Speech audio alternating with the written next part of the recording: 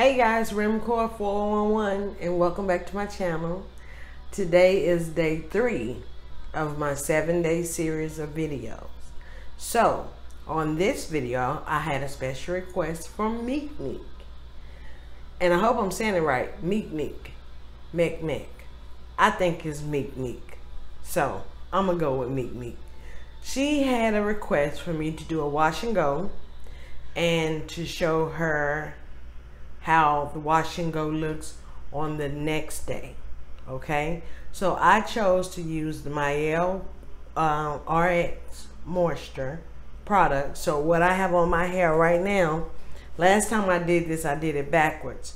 But what I have on my hair right now is the Mielle Moisture RX Hawaiian Ginger Moisturizing Overnight Conditioner. That's what I have on my hair right now. So I took me a shower. I wet my hair. I applied the overnight conditioner. It's on there now. And then in the morning, I will shampoo and condition my hair. Mm-mm. I'm telling y'all too much. No, I'm not. I'll shampoo and condition my hair. We'll get go ahead and get started with the wash and go on day one and how the wash and go looks on day two. I'm even going to show you guys what I do with my wash and goes at night. So it'll be ready for the next day. So I'm so excited about this video. Meek Meek. This video is for you. Alright guys. See you in a sec. Alright, so it's the next day.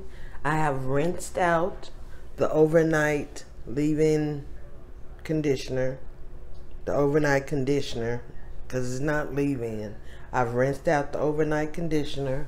I have shampooed and conditioned my hair using the Mielle shampoo and conditioner. Uh, shampoo is infused with avocado and ginger to hydrate your curls. Does that. The conditioner is formulated to deliver moisture and hydration to condition every hair strand. Does that. It it it just it does it. It does it. So maybe that, uh, that's just with this line. I never tried the other line that everyone canceled out. Never tried it. So let's get ready to put up this wash and go for Meek Meek. All right. I'm going to go, let's see. First thing we're going to do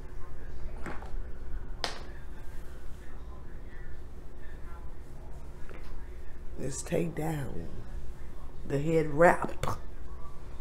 Take down the head wrap that just fell on the floor.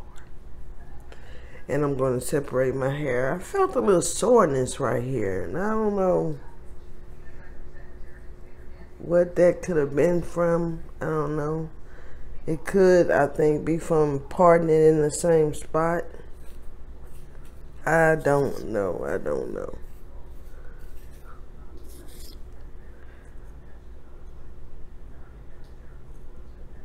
So, um, there, uh, if there is a leave-in, which I don't think there it needs to be a leave-in because there's so much leave moisture over there already. It probably don't even need a leave-in, but it don't have one. So I'm going in with the moisturizing gel, and I'm gonna speed up this video because I want to do this while my hair is wet.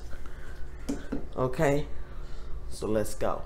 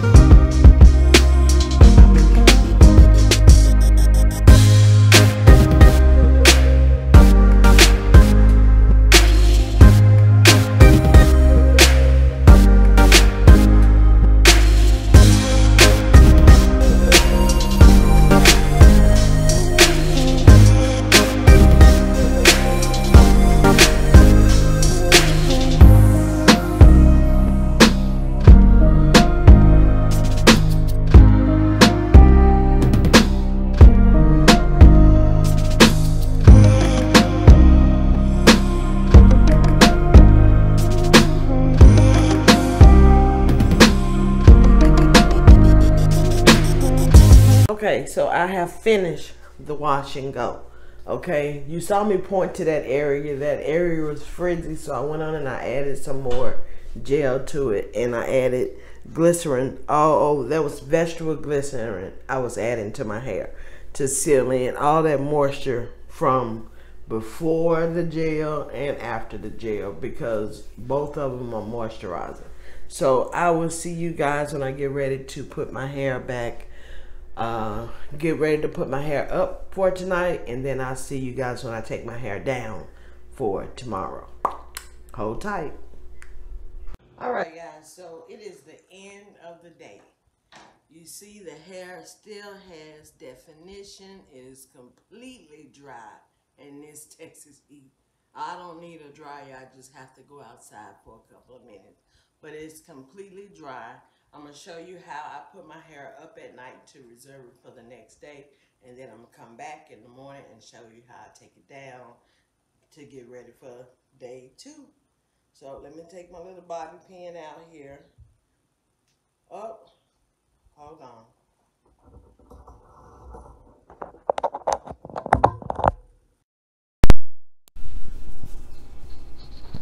Okay, hopefully this will make it better for you to hear me. So what I have here is my little biotin and child. This stuff here is like, it's just, it's not biotin. Lord, it's, um, I'm so tired.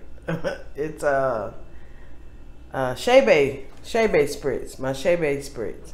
So I just spray my hair down a little bit just to moisten it up just a little bit. Because I'm not trying to sleep with no wet head. Okay? And then I don't use no combs or nothing. I just take my hands, divide my hair gently because I don't want to disturb the curls.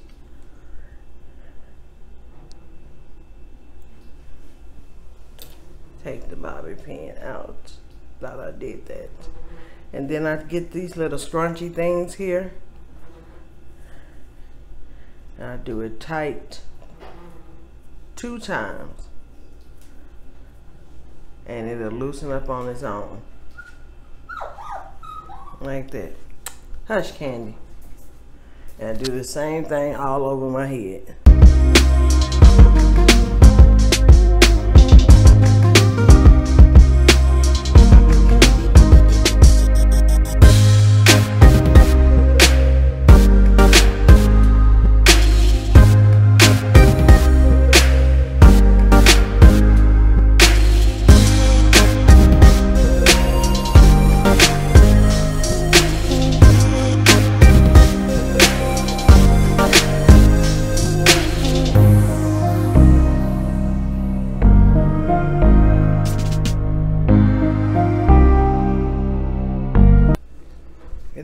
get your ca uh, satin cap, bonnet, whatever you want to call it.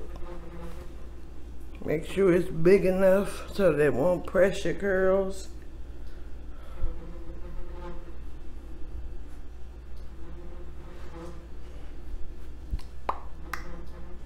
That's it. And then I'll see y'all in the morning. All right, guys. Last clip. The takedown from from the day before. That's what we're about to do. Last time I showed you guys, I put these up. As you can see, the curls and everything are still there. I grab my, um, why do I keep forget? Why do I want to call this biotin juice? I don't know. That could be something the Lord put in my spirit. Create, create. Um,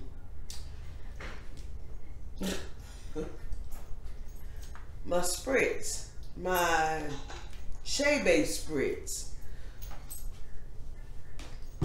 Losing it. I'm losing it, losing it, losing it. So what I do is I slide it off gently. I heat it up with some moisture. Hold on.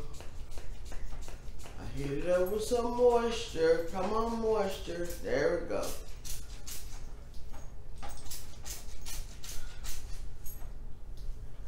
Just to dampen it. And work my fingers down to the curls. I don't rake it all the way through unless I'm putting some more product on it. So I work it down to the curls and then I pull at the curls. And that's what I do to preserve my hair, my wash and go. Meek,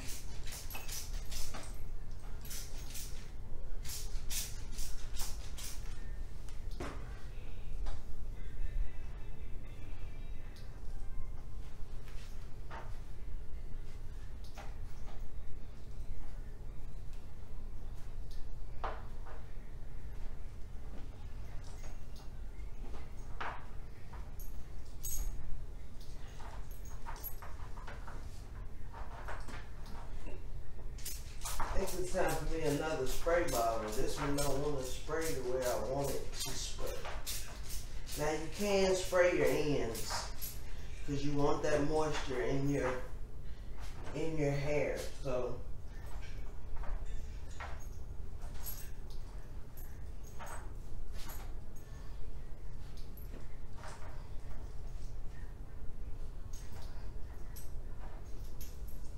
And this is why I don't put the things on tight because I spray them. I, I, I slide them off. So I don't put it on tight.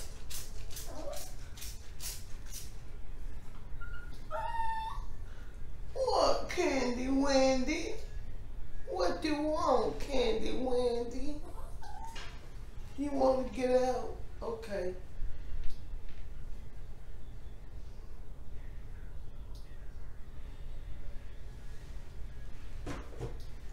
Now, if you feel that you need to retouch it with some of the product that you used, you can do that. I usually don't have to retouch it. If I'm it about two more days, then I probably would retouch it with some of the gel like on the third third day.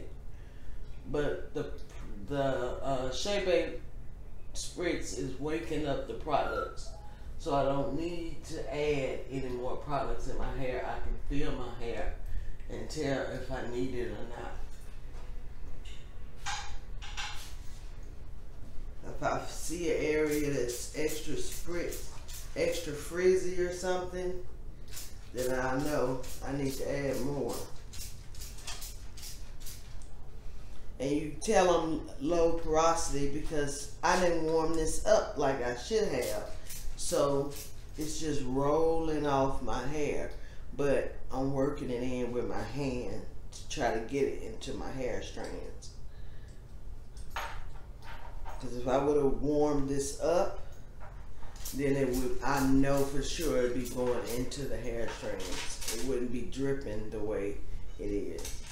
And then I just take my hand and crunch it up because that gel is going to react. It's going to reactivate itself to like that.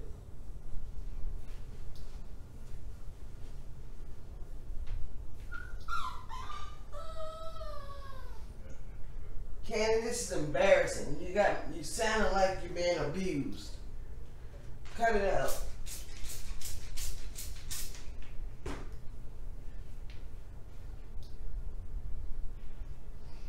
And I give it a good shake.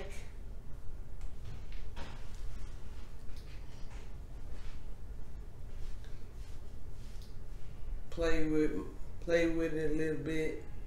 And I am this time I'm going to put a little gel, but it's going to be the extreme gel, extreme red line gel on my edges over here. So I'm going to pull this out, the extreme.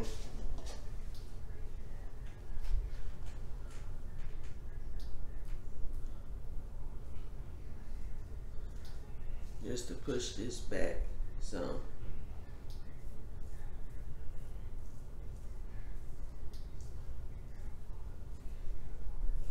I mean, you literally just don't You you don't need to use any tools to refresh your, your wash and go.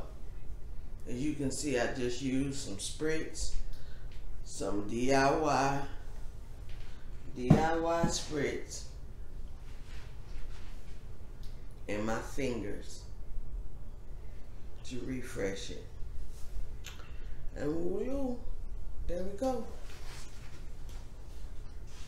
Still got bounce, still got body. Not too hard. Feels great. So that's your video, Meek Meek. The next day of the wash and go. How does it look? How do you keep it? So if you're new here, go ahead and subscribe. Click on the notification bell. Um, the notification bell is a little icon sitting over to the right. Click on it and select all because I am on a seven day hair series putting out seven videos back to back on my natural hair journey. And it's this day, let's see, twist. I think this is this is day three. This is video number three. So I still have four more videos to go. So if you have any suggestions or requests, make it known down in the comment section. Okay? And keep God first in everything you do, and I do mean everything, and I'll see you guys in the next video. Bye.